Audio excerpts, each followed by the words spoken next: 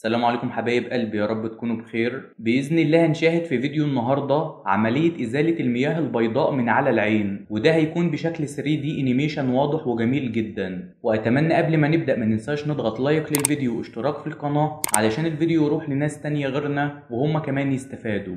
الرؤية بتكون نتيجة لتفاعل أجزاء العين مع بعضها ومن مكونات العين جزء اسمه العدسة ودي عبارة عن جزء شفاف وظيفته إنه يسمح لمرور الضوء الخارجي للشبكية علشان تبدأ تكون صورة للأشياء والعدسة بتتكون من مية وبروتين وبسبب التقدم في العمر أو بسبب مشكلة في الجينات بيبدأ يحصل تراكم للبروتين وجفاف للمية اللي بتكون العدسة فبيصبح مرور الضوء ضعيف جدا والصورة اللي بتتكون على الشبكية بتكون ضبابية وغير واضحة وده اللي بنسميه المياه البيضاء أو الكاتاراكت. وعلاج المياه البيضاء بالجراحة هو أفضل علاج ليها. باستخدام أداة معينة بيتم فتح العين وتثبيتها وبيتم عمل تخدير موضعي باستخدام القطرة وبعدها بيتم عمل فتحتين بقطر 2 ملي على سطح العين علشان ندخل منهم الأدوات اللي هنعمل بيها العملية. وبيتم حقن مادة معينة من أحد الفتحات علشان تحمي الأجزاء الداخلية للعين من الإصابة وتدي مجال أوسع للجراح إنه يشتغل. وعدسة العين بتكون محاطة بغلاف خارجي فبنعمل فيه فتحة بشكل دائري علشان نقدر نصل للعدسة وباستخدام أداة معينة بتعمل بالاهتزازات بيتم تفتيت عدسة العين الصلبة وبعد تفتيت العدسة بالكامل بيتم شفطها خارج العين وبعدها بيتم وضع عدسة صناعية جديدة والعدسة الصناعية بتقوم بوظيفة العدسة الطبيعية بالكامل. ده غير كمان إن العدسة الصناعية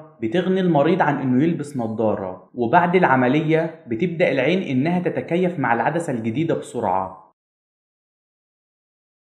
وبكده فيديو النهاردة يكون خلص واللي حابب يشاهد فيديوهات أكتر فأنا سايب لكم قائمة بكل الفيديوهات تحت الفيديو في صندوق الوصف. وأتمنى لو استفدتوا ما تنسوش اللايك والاشتراك علشان يوصل لكم كل جديد. والسلام عليكم.